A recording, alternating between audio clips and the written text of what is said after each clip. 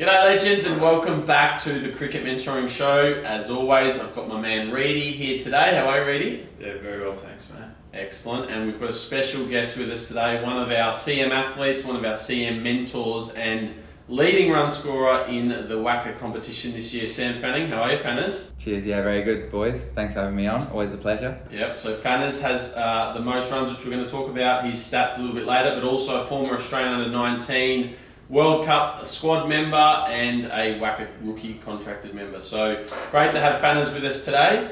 Now, getting into the show, let's uh, talk about what's going on. Really, what's going on in world cricket at the moment?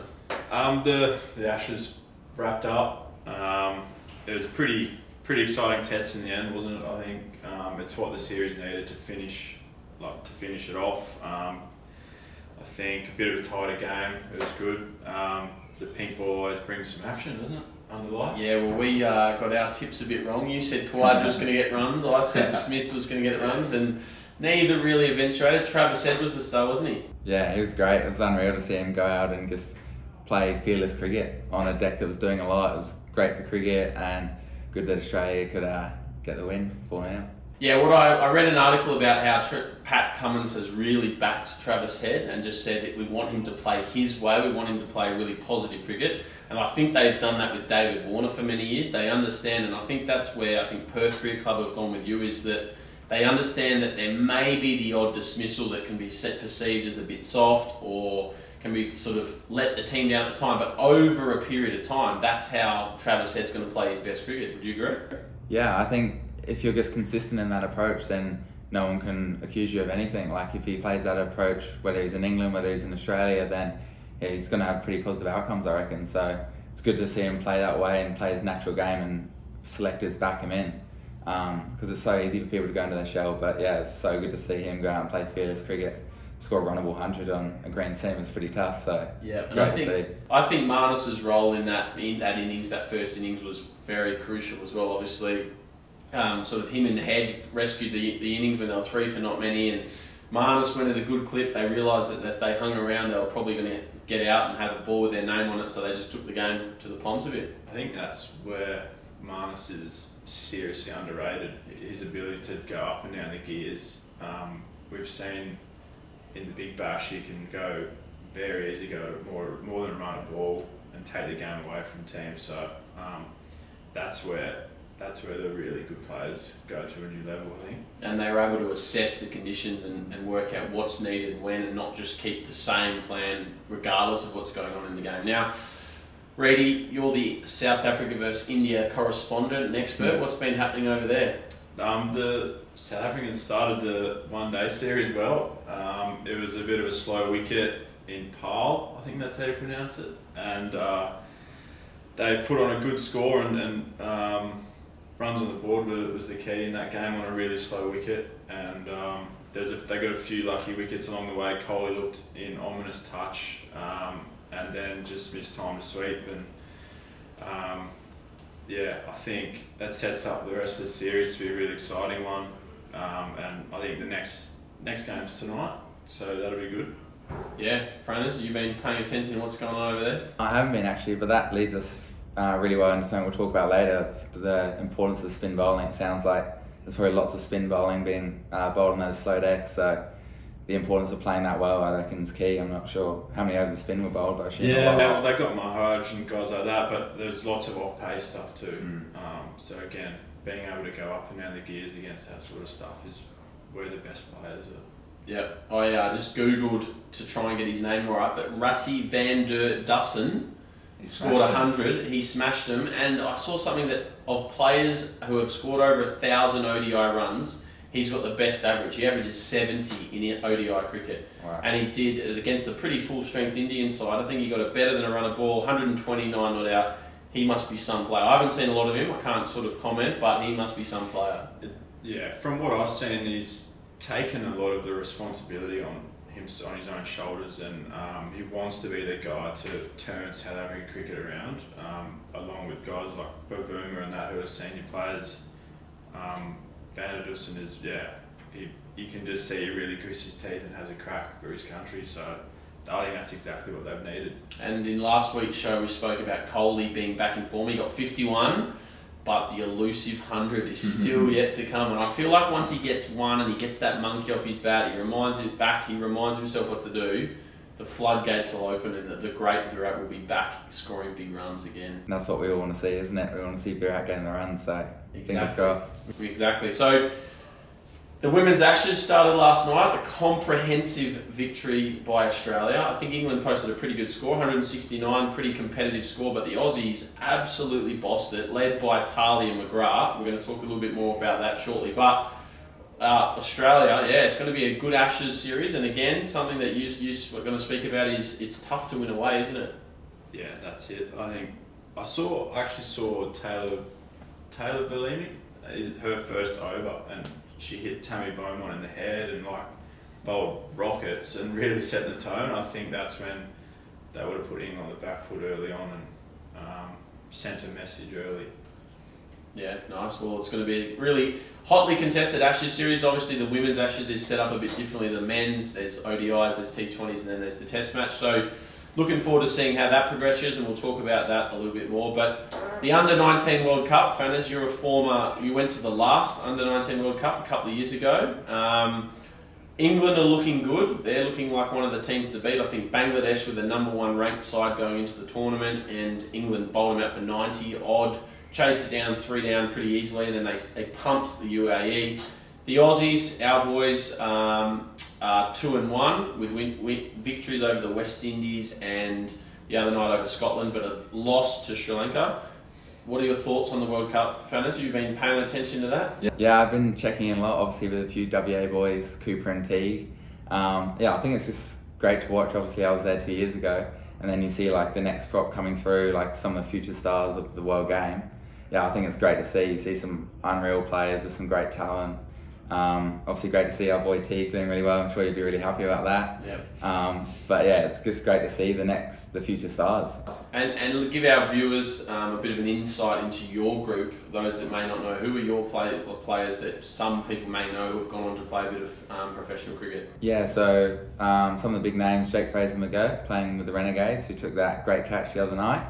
Um, Oliver Davies playing with the Thunder, Mackenzie Harvey with the Renegades as well, and then a few other players kind of just in and around the state squads, um, yeah, training really hard, and then I'm sure they'll get a game, get a game soon enough. A couple of good spinners, Tanveer and Murph. Yeah, Tam Sangha, Todd Murphy.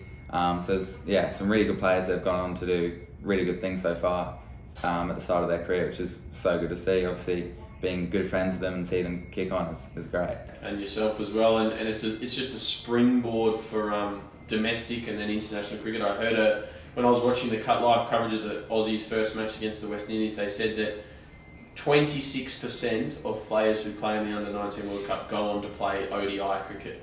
So it's a pretty you, one in four. So if you if you get into that under 19 World Cup, there's a for whatever country, you've got a pretty good chance. Not everyone, obviously, seventy-five percent don't.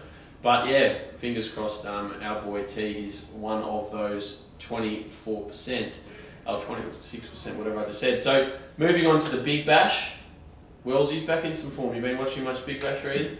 Uh, honestly, I haven't because, as we said in the last episode, there's too many games on and I can't keep up. And but let's be honest, Wells is never too far away from some form, and you'd know this more than anyone at the moment. Fanners being his teammate, um, yeah, the guy just loves scoring runs and loves being the guy to get it done, get the team over the line when they're under pressure as well. I think. Yeah, he just he flies under the radar, doesn't he? Yeah, he's a quiet achiever, but yeah, whenever he's like got a few low scores, you know, big scores just around the corner. He's just so hungry all the time, no matter who he's playing. For Perth, when we play with him, or he's playing for the strikers, he's just always so hungry, which is which is great to see. And he's, he's a smart batter. He's not the biggest, he's not the strongest. Looking at the stats at the moment, he's fifth on the runs for the tournament. Um, he's only hit eight sixes. The guys ahead of him have hit 17, 16, 12, and Ben McDermott's hit an incredible 29 sixes this year. Wellesley's hit eight. So he's a smart batter. He knows his strengths. He knows how to manipulate and maneuver certain types of bowls. And after a little bit of a slow start, he's now fifth on the runs this season. And also, I think he's moved up to fifth in the all-time runs in the Big Bash. So incredible effort from Wellesley. Um, great to see him getting it done. But what are your thoughts? Do you want the strikers to go all the way, or do you want him to get knocked off and him to come back and join Perth pretty soon? Yeah, it's a tough one, isn't it? I, I want the Scorchers to go all the way. So if that means Scorchers Strikers final, then so be it. But yeah, Scorchers are first preference. Very diplomatic. We want. I think we want the strikers to get knocked over, and then Wellesley comes back to Perth, and Yeah. Perth win a flag. But um, on that note, on that note, big game tomorrow. Fanning Huge against game. Reed. Perth against Melville. You first, Fanners. What's the predictions for this game? What's going to happen in the next over the next couple of weekends? Well, I think it depends on what Reedy bowls. If he's, if he's bowling off spin, he could change the game. But if he's bowling meds, I don't know. Could be fill your boots. Who knows? What about you, Reedy? Look, there is absolutely no doubt it could be fill your Boots if I'm bowling, but um, I think it's yeah, it's a crucial game from both teams, and I think both teams are in form, which is good, and that's what you want in these big games. You want to really test yourself, and Perth have a lot of experience in there, and we're a bit younger, and um, yeah, I, I think we'll just have to back ourselves. It's not much else we can do playing at Fletcher Park, so. Yep. Well, Perth, I think, are third. Melville are fifth or sixth. Melville are in the T20 one final, the one day semi final, the Colts final. So Melville have done fantastically well in white ball at all sort of levels. Perth have won their last five, so it is going to be led by our man Fanners with back to back hundreds. So it's going to be a crucial game, and I think the two left handers at the top of the order are going to play a big part in who gets it done. Hopefully, hopefully Fanners doesn't continue the white ball form into red ball, so hopefully that gives us more of a chance against them. Well, from my point of view, I hope you both get runs and there's a little Perth victory, but we'll uh, see how it pans out. Now, you've changed.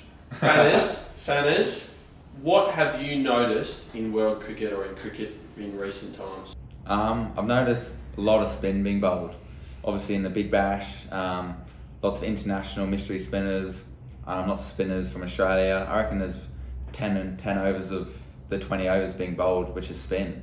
I think it's yeah, it's something that's slowly come into the game and it's just taken off in the last couple of years with um, Big Bash and yeah, T20 cricket all around the world. So I think the importance of playing spin and being able to get off strike against spin, having a scoring option is, is huge. Because you see so many people get bogged down. Um, you need to have yeah a good shot. If it's a sweep shot, coming down the wicket, getting um, using the depth of your crease. I think you need to have a good scoring option against spin. Absolutely, and, and T20 cricket, everyone thought would be the death of spinners, but Mm. it seems like every club is, is sort of signing overseas spinners these days and having good quality spinners, not just part timers, is, is crucial to a team's success. Yeah, absolutely. Um, but you, yeah, you just have to have options. There's no other choice anymore, is there? I think yeah, that's why it's so important to have your sweep shots off a good length, or if you can come down the wicket. Because if you can't sweep, then the bowler can settle in. They know you can only go forward or back. So that's why, like obviously, you practice sweep shot with lots of your clients. I think yeah, it's so important. You need to have a sweep shot. And to me as well, like as you said, you want to be re- have a really real confidence in one of the options, but you also want to be able to get use your feet and get back. If you can play all of them and you can play with the bowler's length, well then that gives you heaps of options. Reedy? What have you noticed? Um, yeah, I think one of the biggest things is that winning away from home is proving to be pretty tough work for everyone. Um, I think I think it's gonna be proven again. Like Aussies have to go to Pakistan this year, and I think that's going to be really tough. And talking about having options to spin um, in the subcontinent, we know it offers a bit there. So um, yeah, I think it's going to be interesting in the future years how countries travel and how they prepare, start preparing, because at the moment it's even India and South Africa against a lesser team are, are struggling. Yeah, well, it's and, and the women's Ashes is the same. The English playing in Australian conditions, it's so different, and it is underrated how different the conditions are. And when if you're you've grown up playing your cricket in Australia, um, if you suddenly go to India or England or whatever, it's, it's really really different. And whether the big sort of countries start to expose players like you, young good players who they see as future international players, where they start to expose them at an earlier age to sort of get used to the conditions, understand the, the problems you face, and then have to sort of problem solve through that. Time will tell, but it, it's it's definitely getting harder and harder, and you see less teams winning on the road, don't you? Yeah, definitely. And like that's why the next Ashes series in England will be so good.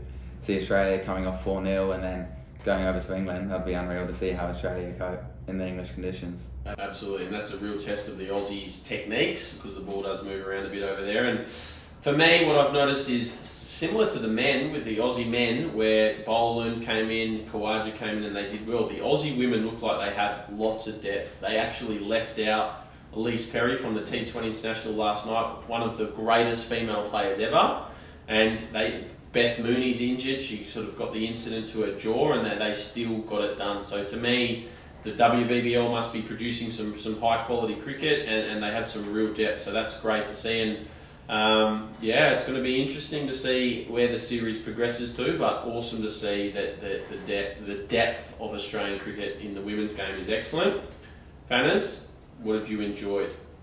Um, something I've enjoyed is uh, seeing Greeny, um, obviously a teammate, overcome some probably technical issues that he had at the start of the season, uh, sorry, start of the series, and a few people made a few comments and he kind of went back to the, his um, coaches that he trusts and that he has in his close bubble. And then obviously performing so well at the back end of the series was just unreal to see.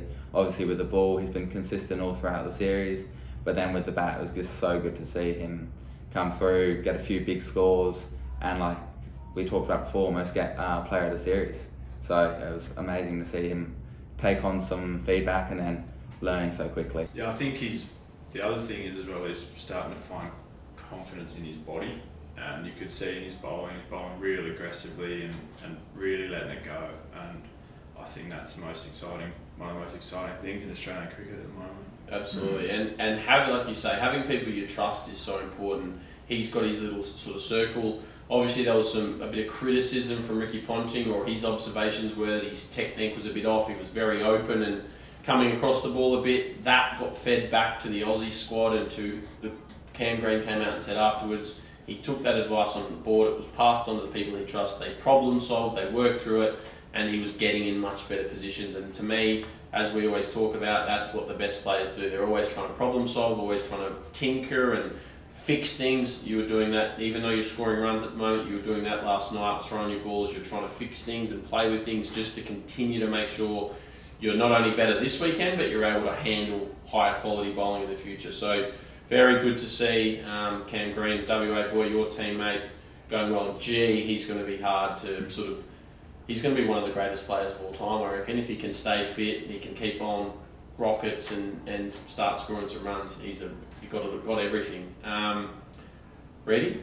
What, what have you enjoyed? Um, bit of a Melville bias here, but the the boys we got over got over the line in the T20 semi final on the weekend to book a spot at the WACA against Subi, Subiaco Floreat in the grand final. Um, we managed to knock off a really good Freo side who like had a consistent team for a long time now. They know they know how to go about T20 cricket and they had some really good informed players. Um, but for a few of our young guys to stand up and um, get us over the line at the end in a, in a run chase, a tight run chase. I thought that was yeah, it was epic, and the the celebration as we got the final run, it like really showed and how much we wanted it, and um, no, it's yeah, it's exciting. Well, you uh, you won the quarter final in the morning to book your spot in the semi, and you got a few runs in that game, didn't you? Got the boys over the line. Yeah, it's not for me to discuss. A little cheeky twenty not out to win the quarter final, and then a couple of our mentors, young mentors, Coiny and Wheels, got got the job done in the afternoon. Who were both playing in the Colts final as well. So, congrats to Reedy and the Melville boys on that, and good luck for the final in a couple of weeks, which Thank no doubt we'll be talking about. For me, what I've enjoyed, Teague Wyllie getting it done over in the World Cup. Our boy, Teague, I've been sort of working with since he was 13, five years or so. Um, an 86 not out in the first game. I actually said on last week's show I didn't have high expectations for him I thought it was going to be incredibly challenging for him. He's more of a red ball player than a white ball player. It's going to be spinning over there, but he's a young man who just finds a way. He just hangs in and stays in. 86 not out in his first game, and then 101 not out in his third game. Missed out in the middle game against Sri Lanka, but I've really, really enjoyed that, um, which we will talk a little bit more about shortly. And I've also enjoyed seeing Tahlia McGrath, man, player of the match last night, um, and Alana King. Obviously, Kingy was one of the mentors at our female winter academy last year. She has come on in leaps and bounds in the last sort of 12 months. Had an awesome WBBL, so really pleased for her to make her debut yesterday and get her first wicket. And Tahlia McGrath, um, I've seen her Instagram account pop up on our Instagram on our stories as a viewer for a while now. We've had a tiny bit, sort of a few conversations here and there, and so yeah, really pleased to see her doing well. I sent her a message saying well done, and she, she replied saying thank you. So congratulations to Tahlia McGrath, and great to see her doing doing so well and, and Australia dominating. This was a bit of a hard one this week. What haven't we enjoyed, Fanners? Yeah, that was a tough one. Um, I think with us all being in WA, obviously we want to watch some cricket, we want to see some live cricket. And yeah, for us it's been a, a little bit frustrating not to see the Scorchers obviously doing so well over East, but we just haven't been able to watch them at Optus Stadium, a great stadium for like cricket, footy, everything. And yeah, we can't watch um, some of the WA born and bred players, which is a little bit frustrating. Um, and then obviously we, we're going to have the last test match as well, which would have been great. See obviously them win the Ashes, um, like Greeny lift the trophy, um, lift the hand, sorry, um, in um, yeah on his home in his home state. So it's been a little frustrating. Um, so yeah, it's probably something we haven't enjoyed with us being a little WA biased. Yeah, for me, this I couldn't believe my eyes when I saw this. Um, we don't know what happened before the video was taken, I guess, and what sort of noise they were putting on. But um, yeah, the police having to put an end to the Ashes party on the rooftop. I think um, we all, like us three in particular, we all loving celebrating a good win, and um, I'm sure we would have been in the same position if we won an Ashes. But um, that's what it's all about, and I think for that to have to end for those boys, they were still in their whites, their baggy green, um, mixing it up with Joe Root and Jimmy Anderson. How good's that? Like that's just what dreams are made of, really. And um, for guys like Travis Head, Alex Carey's first series, um, yeah, that's that's just the dream. And for that to get put to an end, the sun was up, but I'm sure they would have gone to for another night if they could have. Uh, yeah, well, I, I, yeah, I don't think it would have taken winning the Ashes for us to stay around. uh, I think if you win the T20 final, you might be doing something similar. But book the week off. Thanks. They're, they're the uh, they're the sort of memories you make and you remember forever, isn't it? Just sort of sitting around having a drink. Joe Root, one of the world's best ever players, and, and Jimmy Anderson, and then Nathan Lyon and Joe Root are great mates. They played club cricket together in Adelaide, um, and so you saw them sort of talking a lot throughout the series and and yeah, they would have just been enjoying each other's company, sharing some stories, sharing some thoughts on the game, and, and yeah, it was a bit disappointing. Obviously, they'd had a good night, sun was up, but yeah, I love seeing them still in their whites, which is which is great. Um, Fanny's thoughts on that one? Yeah, well, that's why we play cricket, isn't it? Celebrate after. Yeah, no matter. Yeah, obviously, it's you always want to win, but it's about yeah, you create great friends, and like you said, Root and Lyon, they obviously played in LA together, and now they're playing in the Ashes against each other. So yeah, you create great friends from cricket on and off the field. Um, yeah, and it's just it's great to see that happening. You're the night captain at Perth, aren't you? Oh, I wouldn't say that. Fanners is always leading the charge. For me, talking about late nights, I haven't enjoyed the late nights staying up and watching Teague. Um, Friday night, they lost the toss, or they won the toss and bowled. Oh, they lost the toss and bowled first, and then so I start game started at 9 pm. I ended up going to bed at 4:30 am. Teague sort of well, started his innings about 12.30 or, or 1am and then he batted through the innings and I, I couldn't go to sleep mm-hmm. while he was still in. And then the other night I actually went to bed about 10 o'clock they were fielding but I woke up at 2.30 I was curious checked the score saw that he was on some runs he was about 70 and I, I sort of couldn't sleep so I got up watched it. So it's been a, a bit of a sleep deprived week so I haven't been enjoying that but obviously well worth it. And also a bit of a funny one this one. Fanners you've got some thoughts on this but mm Steve Smith not being allowed to play in the BBL finals. It's a bit of a sort of grey area. He wasn't contracted by the Sixers, um, whereas others were contracted by their franchises. But for me, I haven't enjoyed that. Surely you want the best players playing in the finals. There was meant to be an Australia series. There's not now. I just read an article that it wouldn't happen to LeBron James or sort of one of the best players in other franchises. They'd be they'd be sort of wanting to them to play. So, bit of a strange one. What are your thoughts on that?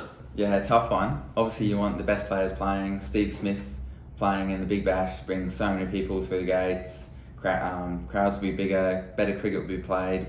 Um, yeah, I think it is a tough one, but it's unfair on a few of the other teams as well. Um, obviously, if they've signed some players and the Sixers not signing Steve Smith, um, it's a bit of a yeah free ride for the Sixers, and then the other clubs have signed all these players, paid a lot of money for these players, and then yeah, they're almost getting Steve Smith for free. Which um, from a watching the game point of view, a fan, it's oh, you want Steve Smith there, but yeah, you can see from a list point of view and um, with yeah franchise point of view, it's pretty tough on them. So yeah, I'm probably on the fence there. It's a tough one. Yeah, well, time will tell. I guess that he's, it seems like he's not going to play, and Moses and the the Sydney boys are a bit disappointed in it. But yeah, you can understand the frustrations from the other squads who have contracted their players at the start of the series um, and then had to pay them their wage or whatever, and then they come back after the Australian series ends. But Smith sort of swans in. But yeah, a bit, bit of a strange one. Now, moving on to our value topic of the week, fanners. We're going to pick your brain a bit and try and understand you and your game and what is behind your success this year. Obviously, this is your third year in Perth now, I think. Um, Yeah. First year you were away a lot. Two years ago you were away a lot. You didn't play a lot of cricket. You had a bit of an injury, and then you went away for the World Cup. Last year you were finding your feet. You played some good innings. You, you did some good things. But this year you've, you're the best player in the comp. You've scored some incredible runs, which we'll talk about and go into in a minute. But what is it that's sort of making you so successful this year? I think this year the main thing that I focus on is just trying to stay process driven. Like if results happen, then that's great, but I can't really control that. I've been trying to focus just staying on my processes, doing what I can control because I can't control other things out of like the bowling attack, whatever. Um, those external factors control what I can control, and then if results happen, great. Um, if not, then obviously that's frustrating. But if I'm focusing on my processes, um, then yeah, I think results will happen more often than not. But I think it's being consistent with those processes. It's not if I do something and I get a duck, I need to change something. I'm still just going to back them in. Some I may go 100 100, I may go duck duck, but just yeah, trying to be as consistent as possible. Um, and something that like we you talk about a lot is like staying in the contest. Felt like last year I would get in the contest and then I would get out a lot for 30 and 40. So this year I'll try to get in the contest and then stay in the contest for a long period of time. And then after like I'm staying in the contest, I want to win the contest. So I want to come off hitting the winning winning runs, or I want to come off not out. So I think that's I've had those two points of I've really tried to nail this year. And so last year were you a bit more results driven and sort of Definitely, yeah. needing to get runs, wanting to prove yourself to people, and like too desperate for runs, I suppose. Yeah, I was almost too hungry for runs. I was so like, oh, I need to get runs every Saturday. So then it would get to Wednesday, I'd, oh, I want to get runs Thursday, I want to get runs Friday, and it would just be almost information overload. Like I'd be like so fixated on it. Where this year, like obviously that's the outcome, but I can't control that. So I guess we yeah, gonna stay focus driven, uh, process driven, and then yeah, if results happen, great. Um, but yeah, it's definitely so easy when you're out of runs. You just want to make runs, but yeah, you just want to control what you can during the week, and then on Saturday, just get in the contest. And I feel like if you're in the contest, then if you stay in it for long enough, things will happen. Give us a bit of an insight into your process on game day. So, coming to the ground, what are you sort of thinking about? What are you trying to sort of visualize, or how are you trying to be at the, sort of in the morning of the game, and then going into the contest, walking out to bat, your first ten balls, etc. Give us a little bit of a picture of that. Yeah, so I think when I'm, it's a Saturday when I'm playing a game, um, it's Sam the cricketer. Like um, all throughout the week, it's Sam the person, like live my normal life. But then for me to get my best success and better results is be by being Sam the cricketer. So I think for me that I go into, I'm not being friends with the opposition. Like I'm just focusing on my mental space, and for me that's just when we find out we're batting, I'm like fully switched on to. I have a look at their bowling attack, like if they're warming up, I go like have a look at um, few of their bowlers, see if there's a few different actions, just so it's not totally fresh when I go out to the middle. Um, and then I'll grab a few underarms and then a few throwdowns, but that's just to, for me mainly to get my trigger, um, my trigger moving in the right position. I find like from throwdowns, lots of people get annoyed if they don't hit them good. Like, oh, they get a bit frustrated, but I find for me it's a win-win. Like if I hit him bad, I'm I'm due to hit him good in the game, and if I hit him good, I'm gonna hit him good in the game. Like it's totally irrelevant. Like I'm only doing it to get my feet moving. So to be honest, it doesn't that doesn't really affect me at all. And then I go back into the sheds and I take a few deep breaths, um, say a few things to me, um, to myself, just to get me switched on, like a bit like a bit of a um, MJ Last Dance. When I watched that, Michael Jordan, he like tries to get himself up, like picks a fight with someone in the opposition to find some motivation. So I've tried that a bit this year, which has been which has been pretty good. Um, so yeah, try to do that like ten minutes before I go out, and then I'm fully like focused on getting in the battle. And then yeah, before I cross the white line, I'm just saying to myself, get in the contest, stay in the contest, and then win the contest. Um, and that's just me being Sam the cricketer. Like I can be Sam the person every other day of the week. I'm like friendly, like easygoing, but I'm Sam the cricketer when I'm when I'm at cricket. No, I think that's interesting how he identifies himself differently. Um, during the week, he's just, yeah, he's not not judging himself by how he's hitting them or um, what he's doing in cricket or anything like that. He's just trying to live live and be himself, and I think that's probably putting you in the most comfortable, the best mindset um, you possibly can be. Um, and then, yeah, I, I really enjoy how you talk about winning the contest there um, and, and how you're competing a lot harder. Um, I think that's something that has always helped me, and um, I think, yeah, I think that can really set the difference from that's the best players are like so driven and so competitive and just want even te- they want to be better than their teammates. Some of them, you know what I mean. So um, no, that's, that's awesome. But take us inside during your weeks. You talk about your processes. What what about your training week? How's that? Like, how are you whacking balls all the time, or are you sometimes you lay off, or how does that look? Yeah, so it's been a bit different. Like these last two weeks, I've I've had a little bit of a back injury, so I haven't actually hit that many balls during the week, and I've kind of come to Saturday just being really like really fresh. To be honest, even a little bit underdone. I was a little bit worried, um, but I said like I can't control what I do during the week if I've got an injury. Like it was actually a really good challenge for me to come to Saturday. Had a bit of an injury. I've had one hit during the week. Would rather hit three or four times, as many times as possible. But to to get on Saturday, like I did exactly the same processes, like found my motivation for that game, um, and then just switched on and tried bat as normally as I could.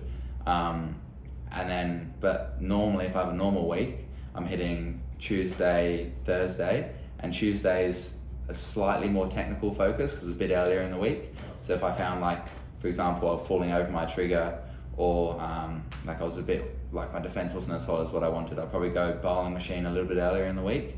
Um, just try get that in then, and then Thursday, Friday, a bit more getting the contest focus. Like I'm just facing the bowler. It's like a game. Um, so that way I'm still like chipping away at my technical stuff. So that will help me in good stead for five years, ten years. Mm-hmm. So it's not just oh I'm in season. I'm just going to hit balls. I'm going to focus on finding the middle. Still want to work my technical area. And then yeah, Thursday, Friday is more get in the contest. Um, try prepare myself for the weekend. And so how do you get away from cricket being Sam the person?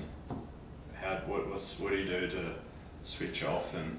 Yeah, it's a good question. Um, I love playing golf, so yeah, I try to play that Friday arvo lunchtime. So from like midday to five o'clock, I'm playing around a golf. Um, I'm just completely switched off, not thinking about cricket because um, it's so easy on Friday afternoon. You're playing Saturday, you're just thinking about cricket all the time. So yeah, I try and play golf Friday arvo, and then um, go out for dinner with like teammates or whoever on a Friday night. So then I'm totally switched off. Um, yeah, like going to the beach, like going out having a good time with the boys. Um, yeah, it's always good after a win to go and have a good night out. I think that's you definitely need that as a player, and as a cricketer, you can uh, you can bat all day for two hundred, or you can stick off first ball. But if your team wins, then there's nothing better than going out and have a good time. Yeah. So what I think is a really important point from what you said, it's something that Teague's been through over in the West Indies, is you can't always control your preparation.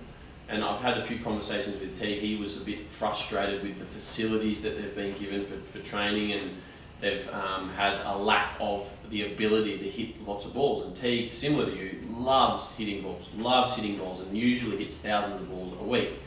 And he's been not able to do that because of facilities and COVID and whatever else over in the West Indies. So he's had to get to the game and convince himself that he's okay. Mm. Convince himself that he's ready and he'll be okay, even though he's underdone, even though he's not had his normal preparation, which you last week, you were uncertain on Thursday night if you were even going to play. You had to see how your back was going to be. You hadn't really trained all week.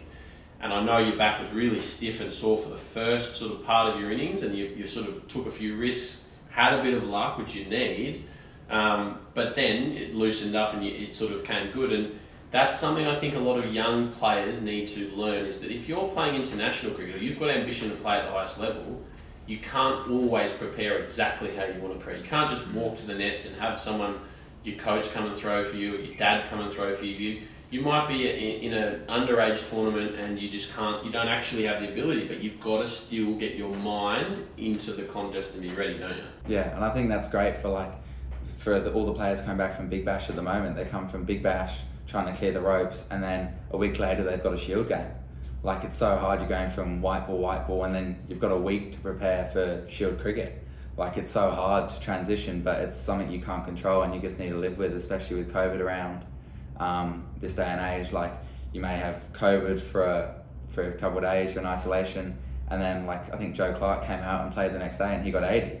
So sometimes it's actually can be really refreshing, but like you said, you can't you can't control that. So you can only control the controllables and do what you can do.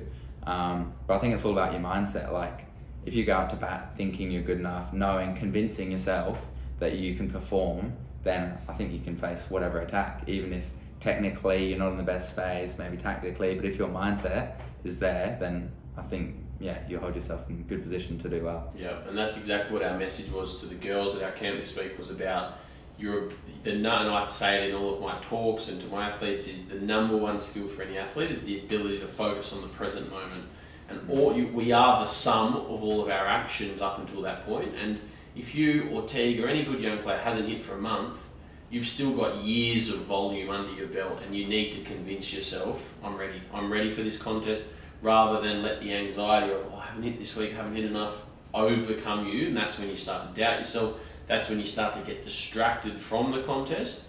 And, and you both have done it very well, where you've just said, no, nah, I'm ready, I'm focused, I'm going to take this, this on and, and seize this opportunity. Let's talk a bit now about your game plan, because having played with you, having spoken to you a lot about this, but I, like I understand it and know it well, but give our viewers a bit of an insight. You've scored four white ball hundreds this year. All your hundreds in grade cricket have been um, in the white ball 50 over competition. You've also got 100 in the second 11 in red ball, but what's you, the difference between the formats and what how are you approaching your innings? Yeah, it's well, something I remember like we're at your house um, in the season last year and talking about like the different game plans, red ball, white ball. I think for white ball, like I've just played more of it, so I've got such a blueprint that I know exactly what I'm doing. So in the first 10 overs, it's two fielders out, so I look to take advantage of that. For me, that looks like playing with a straight bat um, if I'm looking to go like hit a boundary, it's usually straight over the bowler's head. Give myself every chance with a straight bat to go, um, yeah, over their head. Maybe get one of their fielders back, or even because it's a pretty easy shot for me, um, presenting the full face. And then yeah, I'm kind of just knocking it around, looking to put the pressure back on the bowler for those first 10 overs. And if I get out in those first 10 overs doing that, then I can live with that. Like I'm fine. Like get out in the first 10 overs, that's okay. But then from 10 overs um, over 10 to 40, the 40th over, I'm literally just looking to hit the sweepers hard, like knock the ball around, and I'm looking to play as like very low risk, um, trying to make all the odds in my favour. Um, usually mid on, mid off goes back, square leg, and um, cover. So there's so many singles, soft hands one, or you can hit it hard for the sweepers. And then you're going to get a bad ball, you're going to get a full toss, a half tracker. So from um, yeah that 30 over period, I kind of I call it like walking the dog. So I'm kind of taking my um, my dog on a walk first 10 overs he rushes out of the gates like he's keen to just go out that's kind of my first 10 overs then from 10 to 40 just on the leash walking all the way around um, and then from over 40 to 50 really dogs out yeah no. He um yeah just walking around is chill. And then from over 40 to um, 50 in the last 10 overs it's um it's almost a sprint. Like you're rushing back home. You're keen to get back home. So I'm yeah looking to walk the dog all the way back home, but I know I can up the ante a little bit. Like I've got a few different shots that I can go to, but something that we've done a lot at Perth this year, like we haven't been great at from overs forty to fifty, um, like where you can get like eighty runs, but we've probably been going more to forty, um, and I think that's just because we kind of get forty and we like start looking to clear the ropes, but you kind of keep taking it deeper, taking it deeper. Then from over 45 to 50, it's still 30 balls. You can get 50 runs or 30 balls if you've got players in hand. So I think that's my game plan um, and my blueprint for white ball, and I'm pretty consistent at it. Um, and I know, like last year, I got out a bit in the first ten, but I was okay with that. And Well, then, you're yeah, playing you're playing a bit of a high risk game in the first ten, and you, more, yeah. and you practice those shots, Mm, so they, yeah. they're your shots. It's not like you're trying to do something outrageous, but you're hitting the ball in the air. You're taking fielders on, you're taking the quicks on, and it means when you get it wrong, you are going to make mistakes. And yeah, something that I think isn't spoken about enough. We mentioned it last week with Coley. Is you do you do need a bit of luck. All batters need a bit of luck, and and you in, at times have had balls that sort of land next to fielders or just over their head, but. You, that's you're willing to live with that. You're willing to, as you said, you're willing. You're okay with getting out, and it, then it's just smart batting. That once the field goes out, you then sort of rein it in. But you've worked hard at your plan, haven't you? yeah. And I feel like a great example against Scarborough this year. Like I came down the wicket, hit it straight up, got caught a mid on, but I haven't got out that way so far. Like I would have hit that 25 times for four or six. So it's something that I can just I can live with. Um, but yeah, like you said, I practice that a lot, and I try to use my crease a lot to get the bowlers off their length. Like if I'm coming down the wicket, then I'm hoping next ball they drop short, so I'm probably going a little bit deeper in my crease, hoping for a cut or pull shot. But saying that I'm still present, like I'm reacting to the ball. If it is a full ball, I'm gonna still come forward. But I'm trying to yeah, not predict what the bowler's bowling, but make the odds in my favour. I feel and get them bowling to how I want them to bowl. Yep. And then I guess moving on to red ball, um, it's just a few different. It's more shot selection, I think. For the first like opening spell, you just you as an opener, like Buck talks about a lot. You're just looking to get through. Like your job as an opener is to get through the opening spell, um, and I think that's my job first and foremost. But saying that, I'm still looking to hit every ball for four. Every ball I want to hit for four. But then if it's not there, then I work my way down three, two, one, zero. Um, and I just know that obviously the red ball swings a little bit more. So for me, coming down the wicket is not an option. It's more I'm waiting for them to over pitch because they'll probably go searching with it swinging and seaming. Um, but I'm saying I'm trying to have that consistent mindset of I'm always looking to score and then I can work down from that. Because I feel like that's when I get in better positions to defend. But when I'm looking to defend, then I don't get in great positions to attack or defend. And that's where I think Warner has developed mm. his red ball game plan. Something we've spoken about coming from an attacking white ball player into red ball cricket is not, and this is where you sort of struggled early in your red ball cricket the last few years, is going too defensive and too survival mode and ending up being two runs off 30 balls and missing out on scoring shots. So it's just managing the sort of tempo a bit, really. Yeah. I'm interested to know you, Reedy. You're a left-handed opening batter, same as Fanners, but you're more on the survive, defend, and then expand from their side of things, aren't you? Yeah, so yeah, I I like how you're still keeping the same intent, but that looks different.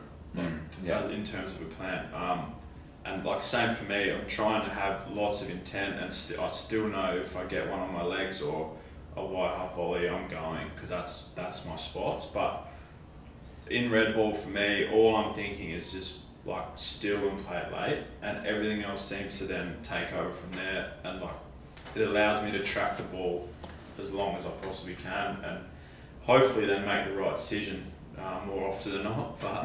But um, yeah, I, I'm more about letting the ball come into me, into my into my zones, and, and just sort of picking them off early, um, and wearing the bowlers down, trying to leave it. Yeah, excellent. Well, it'll be a good test for you tomorrow, having played, both of you having played a lot of white ball cricket now, having to transition back into red ball. I think that that is, and you spoke about it last week, that is a reason red ball techniques aren't as good anymore. There's Mm. less, play, pl- batting averages are lower in red ball cricket in international, but even probably in grade cricket because there's so much white ball. You've spent the last two months practicing your power hitting and running down the wicket Yeah. and now you've both got to get back into the mode of letting the ball go and let absorbing good spells of bowling and still looking to score. That's still your intent, but sort of not going after the wrong ball, which is what often happens when you've been playing shots. Yeah. I think that's a great point about absor- absorbing great bowling as well. Like you've got to recognize it's such a skill to recognize when they're bowling well, when they're on top, which is okay if they're on top, but you just want to get through that patch. And like something we talked about, like you can go two ways. I think like you can absorb the pressure, look to get through. You recognize that moment, um, and then you can you get through the other side, and then the bowlers come back for second, third, fourth spells, or you probably go more like a I know, a Brendan McCullum approach where you look to fight fire with fire, you look to be a bit more aggressive, get the bowlers off their line and length. So I think for like different players, there's two different approaches, which is great. I think. Um, yeah, I think I probably now, uh, having learned a bit more, probably want to go down more. I think just get through because I feel like percentages are a bit more in my favour that way. Um, but I think it's great that some people can go down that other option as well. Yeah. Now, final thing on you, Fanners, before we move into the next segment is what's driving you? Like, you, to get big scores and to back up week after week, there's there's something that's driving you. Obviously, you're wanting to get in the WA side and, and go beyond that. But what's what's your motivation at the moment? Um, I wrote down a few goals actually when I was up in Darwin. Um, I was outcome based. I was struggling a little bit in Darwin, but I had a really good process. Um, and then me and my mate wrote down a few goals just to hold each other accountable. He's playing in Queensland at the moment. Um, and few, one of the goals was um, we want to get more hundreds than 50s. So I've kind of had that as a goal this year. Like when I get to 50, I just want to get to 100. Like, and then I want to go on and get big scores.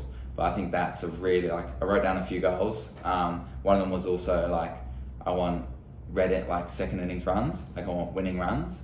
Um, cause like Virat Kohli a few years ago, like he went through a passage where if they were batting second, he would be not out at the end. Like he would contribute so much to their their team winning. Um, so those were two really big goals that I I just say over in my head. Like if I'm out there, if I'm on fifty, I'm like more hundreds and fifties, and then I guess it's a little bit of a driving focus um, so I think it's really important to have, for me, to have those goals I did at the start of the year. But I'm not going into the game saying I want to get 100 because we may be chasing 100. So it's just being present, but having that at the very back of my mind. Um, yeah, I think that just keeps me hungry each game. And then obviously, like you said, wanting to play for WA, but that's something I can't control. So if that happens, then that's great. But yeah, I just want to keep putting runs on the board.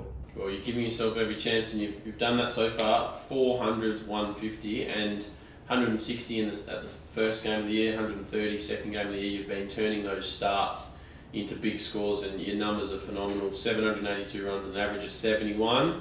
250 more runs than the next best, your mate Jayden Goodwin. Um, so yeah, certainly putting your name forward, and that's all you can do, isn't it? Is just keep yeah. knocking the door down, and your, your chance will come uh, pretty soon, no doubt. Hopefully. Yeah, fingers crossed. Now, Reedy, this is your part of the show.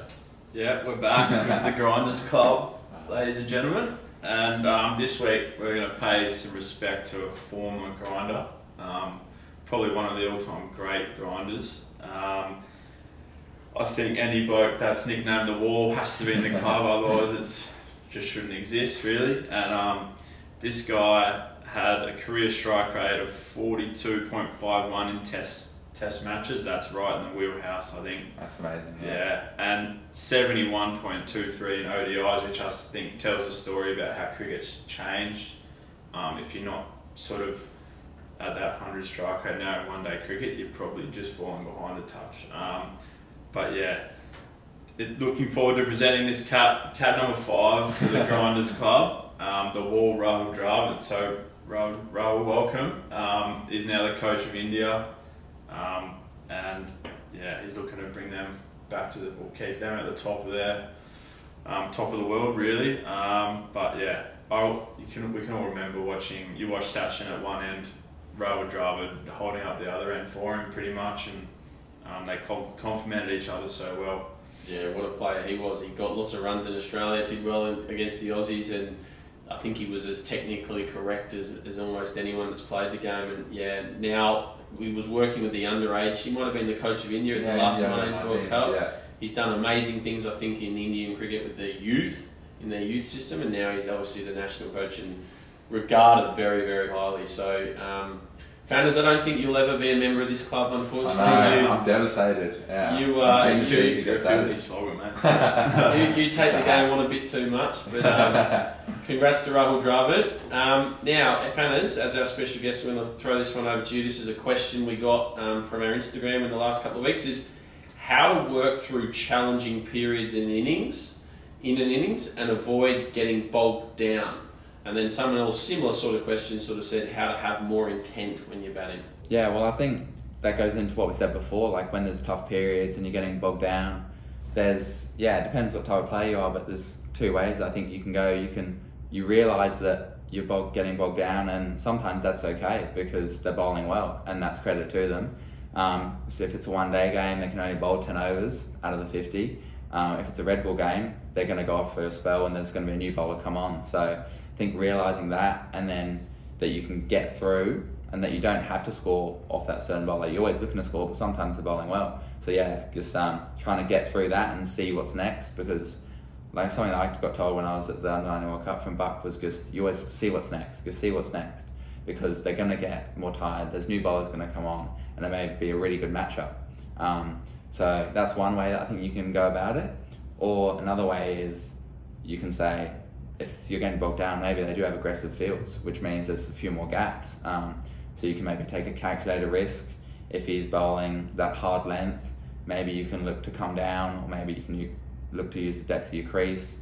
Just get one shot away, and who knows, that may change. They may change their field. The bowler will go, oh, he's on top of me. Like one shot can change something. So I think it's great that you can go two different ways, and it just depends on the game scenario and who the, um, the type of bowler and the type of batter that you are.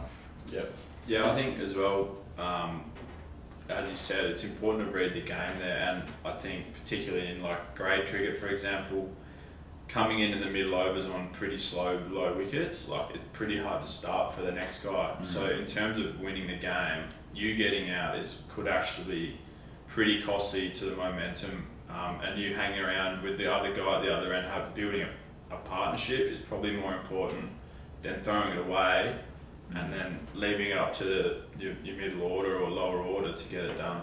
Yeah, definitely, and it can sometimes be like worrying about the perception of others. Or oh, they, I need to get it on. My mm. teammates are thinking I'm going slow, rather than just going right. If we get through this period, we've still got eight, nine, ten wickets in the shed. We can catch up. We can catch up. Let's do it together. And really batting in a partnership and saying you're going well at that end. I'll just hang in and try and get you on strike or whatever, rather than being all about yourself and trying to really go sort of work in the partnership with your partner and and you're always better off being in the middle. Like if you can just and like you say, just be there for one more over, take it a little bit deeper if you're in a chase or whatever the sort of the format. If you're there, you can catch up, and it's it's it's about not panicking. It's about taking calculated risks when you need to. But I think yeah, if you, the, the more the longer a player bats, the easier it becomes usually.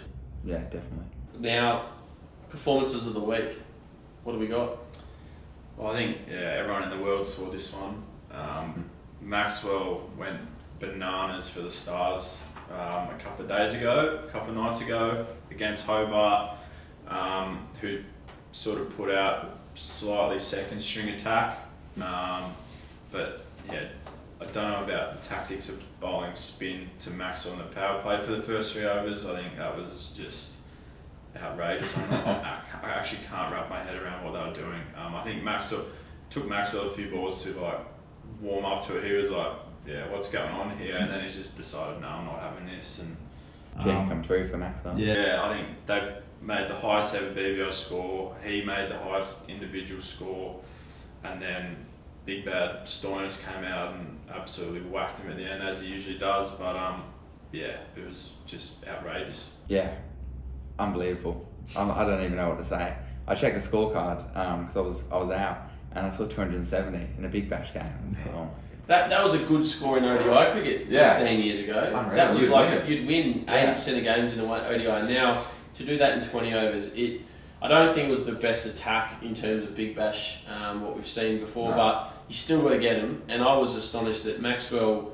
and he carried his back. Maxwell went at 240. Big Stein went at 241. So let's not underestimate what Stein did. And if yeah. he got in earlier, who knows what the score would be. Nick Larkin got three off seven, and if Stein had had another seven balls, you could have probably added 20 more runs to that. They probably would have been touching 300. Joe Clarke did his bit, bit as well at the top, and he's had a fantastic big bash. He's been, after a slow start, I think he got five 50s in a row, and he's bet, proved his worth in the top few runs in the in the competition. But yeah, some some knock. I think it's the third, second or third highest t- score in T20 cricket ever. I think there was a higher score Turkey versus someone, oh, someone versus Turkey, and um, maybe in the another Asian tournament, um, I saw ESPN Cricket Info had a post on their Instagram or something. Anyway, yeah, Maxwell and Stein. To, to do that on the MCG as well. That's a big ground. It's a massive Yeah. ground. Teams struggle to get 150 there usually due to teams bowling into the wicket.